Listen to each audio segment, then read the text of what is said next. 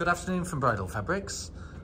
This is an ivory lace, simple yet sophisticated. We've called it Hayat.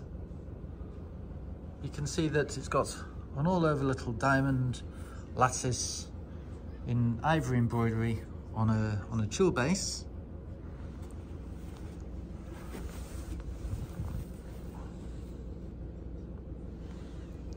It's very attractive, could be used as it's on its own or as an underlay with a more floral or traditional type lace, building up layers. It's available from stock and without minimum quantity. And to remind you, this is called Hayat.